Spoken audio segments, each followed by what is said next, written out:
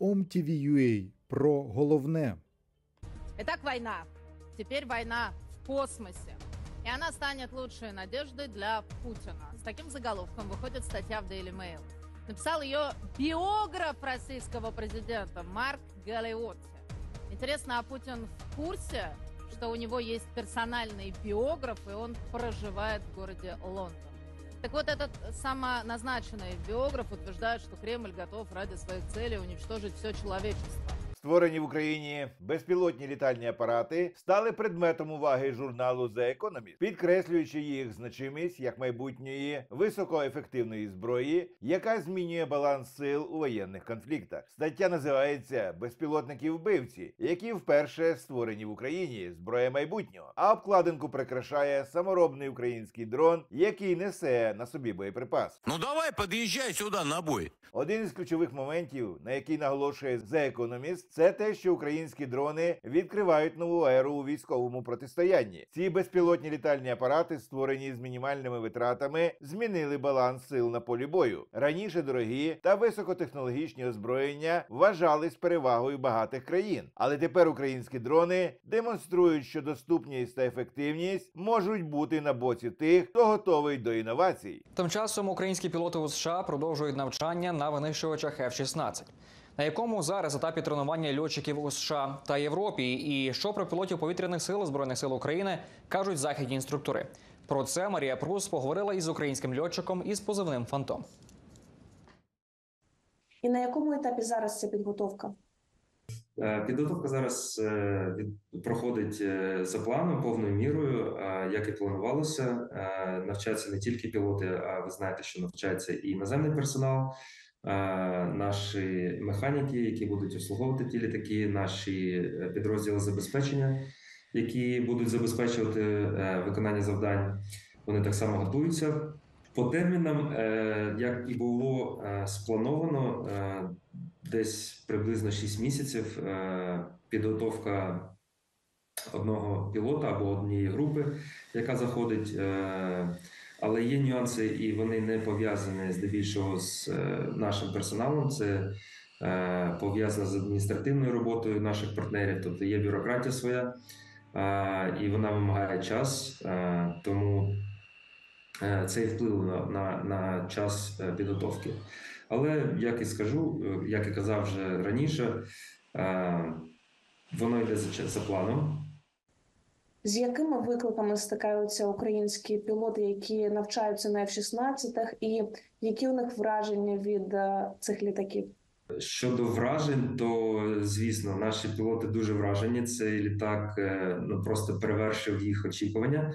Е, Вони, я скажу, що за навіть з тим об'ємом інформації, який вони зараз отримали за цей час, який навчаються, вони вже бачать великі перспективи і е, великий заділ, який е, цей літак допоможе нашим повітряним силам все таки збільшити е, спроможність нашої авіації, бойової авіації. От і ви можете уявити, що цей є, є інформація, яку вони ще не вивчили, ще їм не дали. е, На що ще цей літак може бути спроможний? Звісно, щодо викликів, то е, для наших хлопців це новий літак, і е, було е, е, трошки складно на початку, тому що це літак нової генерації. Е, Це більш диджиталізований літак. У нього багато е, систем і е, програм, які треба е, під час польоту до польоту вводити. І е, ми з таким не сталкувались. Е, У нас е, трошки підготовка йде по іншому. І наш літак е, він набагато простіший ніж F-16. Чи відрізняється стиль навчання або методика, за якою навчаються українські пілоти у Сполучених Штатах та у Європі? Я би сказав, що програма не відрізняється, тому що е, партнери е, обсудили е, саму програму підготовки, тобто вона узгоджена. Е, ви знаєте, що всі країни, які входять і є членами, членами НАТО, вони е, мають якісь стандарти. Тому і стандарти підготовки на літаках, якби воно не було чи в США, чи в Данії, чи в Греції, чи в Турції, е, вона однакова. Тому програма підготовки однакова, але сам підхід може відрізнятися. Дещо які враження в інструкторів західних американських від українських пілотів? Як вони оцінюють е, їхню підготовку, швидкість, з якою вони вчаться? Перше враження від е, наших хлопців і інструкторів було те, що вони вмотивовані. Е, у них горять очі. Навіть один із інструкторів сказав, що у них горять очі. Ми бачимо, як вони хочуть швидше, швидше приступити до перенавчання. І та той фідбек, який ми отримуємо від цих е, інструкторів, він дуже позитивний. Маючи цей досвід підготовки е, пілотів інших країн, е, вони вже мають якусь е, е, оцінку, як е, порівняти. Тому да, вони кажуть, що українські пілоти дуже сильні, вони бачать той досвід, який вже вони набули під час ведення повітряних боїв е, в Україні е, після початку повномасштабного вторгнення.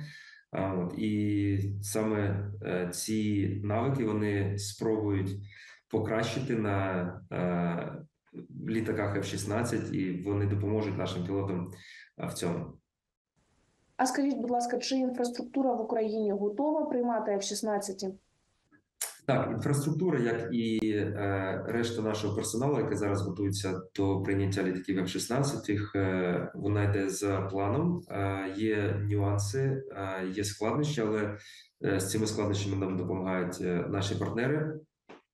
Е, але я можу вас запевнити, е, якраз до того часу, коли будуть літаки F-16 готові для передачі в Україну, е, інфраструктура буде готова, так само, як і наші люди.